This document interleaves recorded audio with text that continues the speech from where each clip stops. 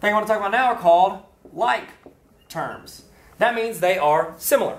Okay? So say you've got um, 2x squared plus 4x minus um, 5x squared plus 8 minus x. Okay? We want to simplify this, okay? When you do simplify this, it's called combining like terms, okay? So what we're doing, uh, well, I apologize. so sorry, so sorry. All right, let's start with like terms.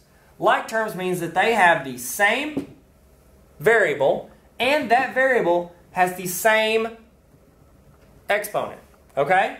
So right here, this is x squared. I don't care about the number, I care about the variable and its exponent, okay? x squared. That one only has an x. These are not like terms. This one has an x squared. These two are like terms. This one doesn't have an x or that, so it would just be a regular number. And then this has an x. These are like terms. And those are what like terms are. Okay?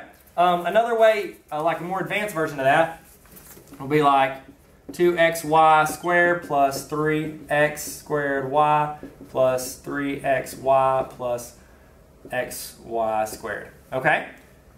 Forget about your numbers. Look at your variables and exponents. You got x, one of the x's, y squared. You got x squared and a y. Oh, you're like, oh, these are like terms. Oh, they're not.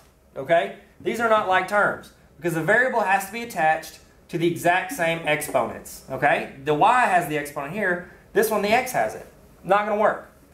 xy, still nothing. xy squared matches up with this one. Those are like terms. Okay?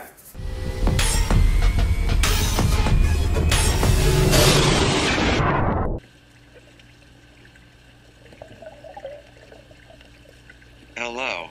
Thank you for coming to Tarver Academy.